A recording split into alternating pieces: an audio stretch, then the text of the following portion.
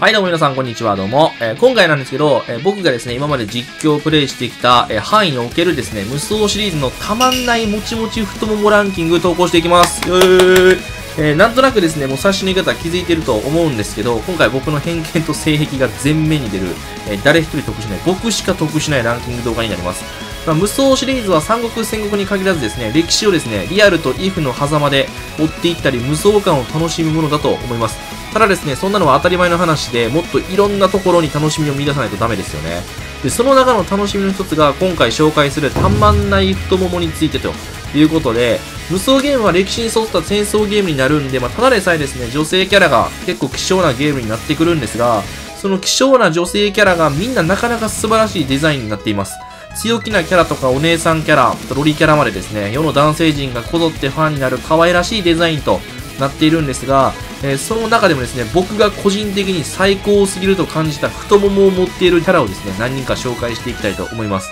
ちなみにですね、今回、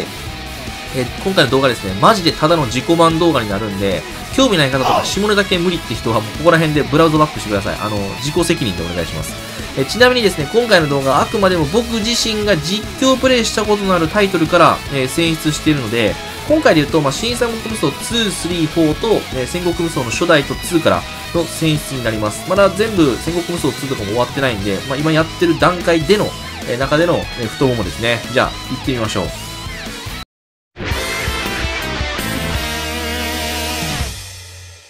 ということでですね、まず一人目なんですが、祝湯です。まあ、祝湯はこれたまらない人はたまらないザ・エスネーキャラですよね。ま南蛮大王暴角すらを尻に敷きながらも大事なところではしっかりと立ててくれますし、南蛮兵たちにもテキパキと指示を出している頼れる姉御肌が最高です。祝湯は南蛮というね、特殊な気候条件に住まうだけあってか、基本的にどのシリーズでも露出が多いんですよね。で特にですね、新三国無双2の祝湯、使い勝手めちゃくちゃ悪くて、雑魚キャラトップに君臨していることで有名なんですが、このビジュアルを見たくてプレイしまくっている人も多いのではないでしょうか。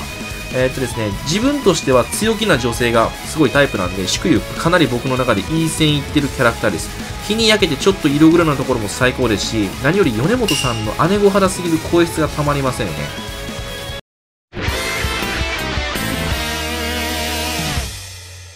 はい、ということで、続いて2人目がですね、森蘭丸です。はい、これ皆さん気になるところではあるかもしれませんが、この際ですね、難しいこととかややこしいことは抜きにしましょう。いや、最高でしょ、この太もも。僕はですね、お恥ずかしながら三国志以上に戦国時代に関して全くの無知で、初代を初めてプレイした時に、蘭丸のことを普通に女性だと思ってました。そのぐらい美形すぎて違和感なかったんですよね。蘭丸もですね、その容姿の良さから、光秀信長とたびたび怪しい雰囲気になるシーンが描かれているんですが、これももはや公式も狙ってるでしょと言いたくなるデザインとなっているんですが、どうですか皆さん？蘭丸の動きやすそうなショートパンツとロングブーツの間に見える、いわゆる絶対領域と言われる太もも、えたまりませんよね。このデザインで男ですは正直無理あると思いますね。擁護するわけじゃないんですけど、信長とか特に光秀があんな感じになるのもなんとなくわかりますし、僕が森吉谷だったら気が気じゃなくなっています。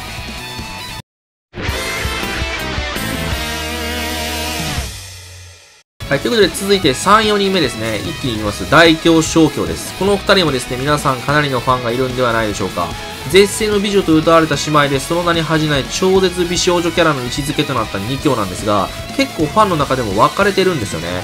落ち着いた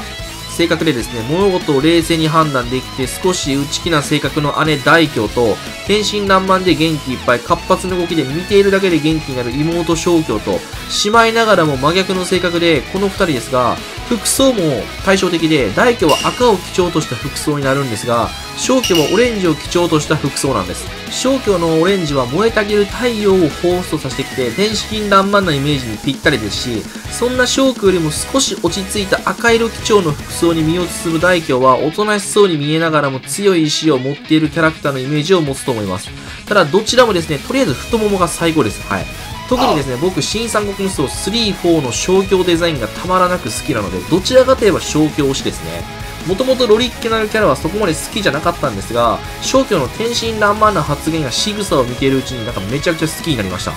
大京も、まあ、2と3のデザインもいいんですけど、まあ、4のほとんどタイツで隠れた太もも、これファンにたまらないデザインじゃないかなと思います。思い出すだけで腹立ちますが、同着台での操作があそこまで躍起になって2強に襲いかかるのもまあなんとなくわかりますし、石壁で周囲がそれに対してブチ切れたのもそりゃそうよねって感じですね。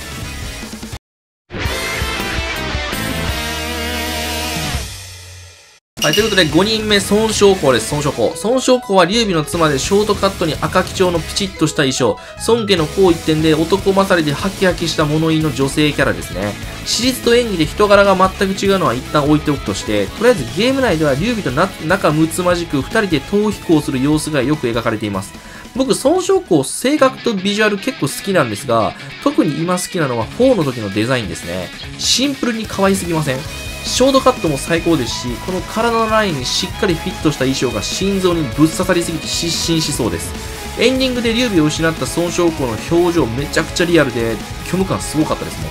ちなみにこの時孫昌光の太もも枕されている劉備にイラッとしたのはここだけの話にしておいてください。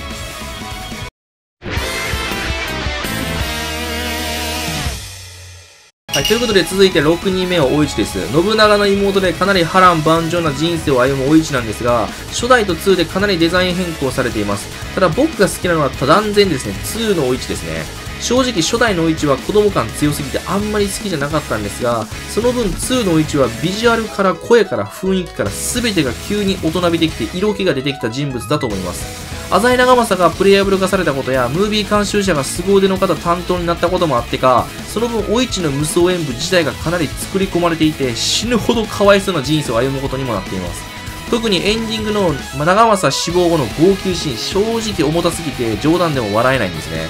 ただそんなお市が大人びたことによって最高の太ももを得ることができました。その太ももが各戦場での独白部分で一瞬垣間見える太ももですね。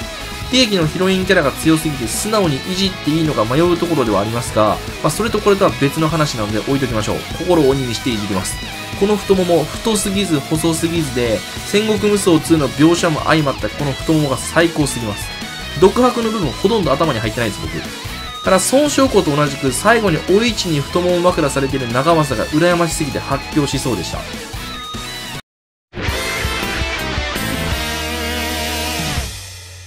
はい、ということで続いて7人目ですね。7人目、正妻です。新三国無双4から登場した職軍武将で月英に次ぐ女性武将ですね。張飛の次女をモデルにして作成されている一応架空の人物らしいんですが、黒髪ショートカット、丸出しの谷間と太ももを持ち合わせながら、颯爽と戦場を駆け回るその姿は、無双ユーザーを震撼させたことではないでしょうか。本人が悪いわけじゃないんですが、おどおどキャラの龍禅がストーカーに見えるレベルで美人すぎます。そんな聖罪なんですが、白定上前のイベントムービーで見られる太ももがやはりテロレベルに際どすぎるんですね。ていうか公式もこれはもう男狙いしすぎですよね。月英が諸葛亮の妻なので、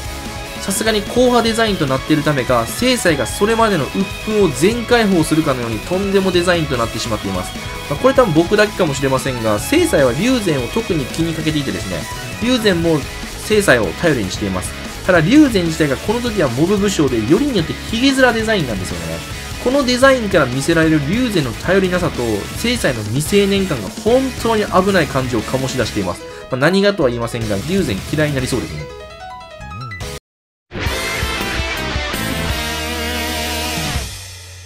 はい、ということでラストですね。ラスト、たまんねえ太ももキャラランキング、堂々の第1位は我らが新規姉さんです。まあ、女性キャラといえばこの人、妖艶といえばこの人、お姉様といえばこの人、太ももといえばこの人です。新三国無双2からですね、新規プレイヤブル化されているし義軍の項一点で、曹操の項曹妃の妻になります。新規の妖艶さはもはや説明するまでもありませんが、この爆発的威力を秘めている太ももがたまりませんよね。新三国無双2のデザインかなり露出が多くて登場を初作にして無双ファンに衝撃を与えた神デザインとなっているんですが僕個人としては新三国無双3、4あたりのあえて露出を抑えている衣装の方がたまらんですやっぱり見えていない良さというものがあると思いますし、デザイン担当の方もそれを分かっている上で新規というキャラクターを紡いでいってるんじゃないかなと勝手に想像してます。しかも新規の良さはデザインだけでなく、その綺麗すぎる足技ですよね。特にチャージ4の蹴り飛ばしはもうお決まりのモーションで、この蹴り飛ばしをもはやご褒美にすら感じるユーザーは僕だけではないはずです。はい、ということでですね、今回ここにします少し、いや、かなりですね、激イケモな企画だったんですが、いかがだったでしょうか？無双シリーズが人気な理由は冗談抜きでこういった要素も含まれていると思います。僕はですね、そこら辺も余すことなく無双の魅力としてお伝えしていこうかと思っていますので、皆さんもですね、えー、下ネタガンガン付き合っていただけると幸いです。皆さんの好きな太ももは何でしょうか？質問キモいな。ということで、またですね、次の動画でお会いしましょう。じゃあ、お疲れ様でした。